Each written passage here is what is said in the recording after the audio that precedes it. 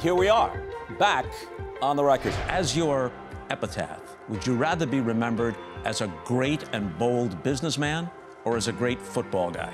Oh, I think uh, my life is both. We are a nation of football junkies. Therefore, is the NFL too big and too popular to fail? Fact is, football is a great sport and it is a, a perfect sport for television.